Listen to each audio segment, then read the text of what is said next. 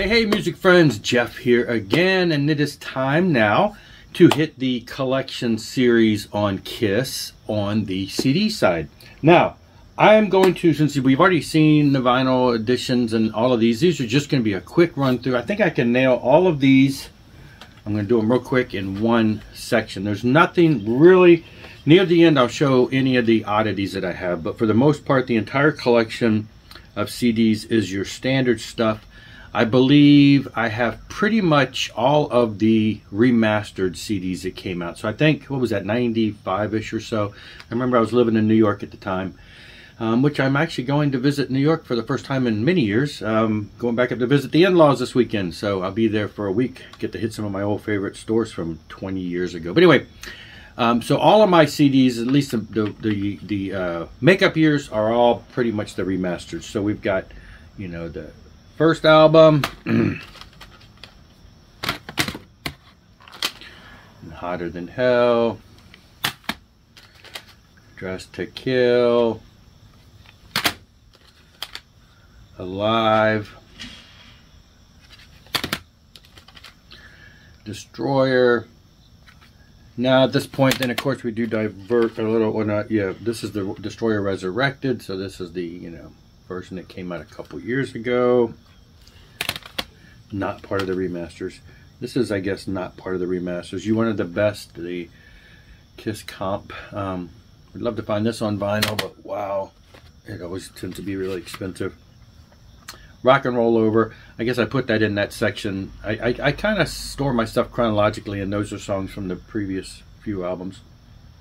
Rock and Roll Over. All stuff. All right, I got the Love Gun Remastered and then the Love Gun Deluxe that came out. I have the, um, you know, I just realized the the Destroyer has a deluxe too, and I have the digital versions. But I, you know, I bought the vinyl on that when in the deluxe edition. I didn't buy the CD, but it is on my wish list. If it drops down in price, I'll probably buy that. Kiss Alive 2, double platinum. Then you get the solo albums. Ace Frehley, Gene, Peter, Paul. You can dig back on my channel and show where I did a ranking of these in my preference order, which is not always the same as everybody else's. Dynasty, first concert I ever saw by Kiss, Unmasked. I love this album. I still love this album. I like the poppier years. I like it all. The Elder, love this album too. It's just different. It's not normal. Kiss, but it's a great album. All right, and then I guess, well, we got Killers that gets thrown in there. This is probably more of a, I don't know, I don't know what year this is. This is an older pressing, I guess. Creatures of the Night. I believe this is about where the remaster stopped, right? Because Lick It Up is not a remaster. And Animalize is not. Was, so they basically, I think the re, unless I somehow totally missed it, the remasters were just the makeup years. Asylum, Crazy Nights. I don't know what I was thinking. Smashes, thrashes, and hits. Yeah. There you go, Hot in the Shade. Alive 3. Carnival of Souls. Let's change hands. We can put these down over here. Try to keep them from falling. Unplugged. Alright, and then we got, let's see, get into this. Psycho Circus with the lenticular cover. Ooh.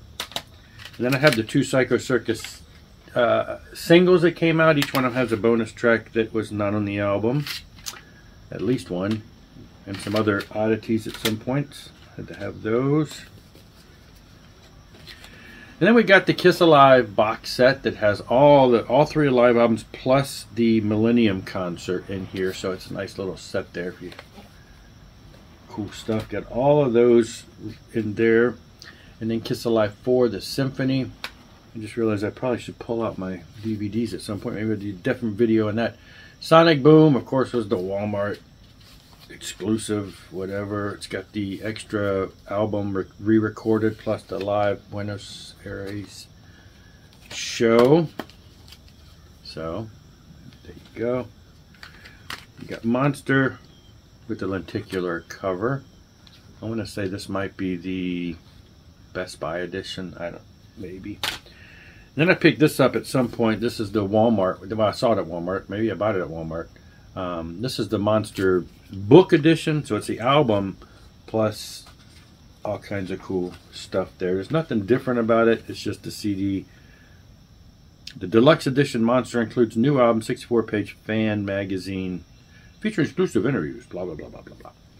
So at some point I picked that up as a little bonus and then live in Vegas. And then everything else from here is basically uh, bootlegs that I bought over the years from various sources that are pretty high quality for the most part. The Farewell Tour package, this is a uh, Kiss Alive 2, the Lost album, and uh, Wicked Lester. So this is like a, got all kinds of different songs and tracks. And there's a lot of different Wicked Lester stuff out there that's various formats and songs and versions and takes. And this is pretty extensive. Wicked Les like Lester Sessions Part 2. So, and then we got actual Wicked Lester, and a full album, I guess, somewhat released. Uh, the way it was somewhat officially released. And it's on a fairly high, decent quality CDR. Those are probably 20 years old. Um, I don't know why that's in there. Yeah, that's a DVD.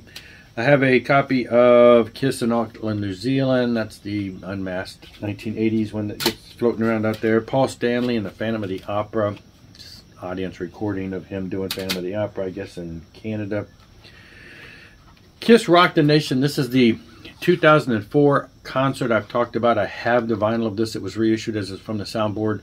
This is the one I bought when I was at the concert. You stand in line at the end of the concert. They burn these off and you buy them at the point. It's a double CD. So this was purchased at the actual Virginia Beach Amphitheater 2004 concert.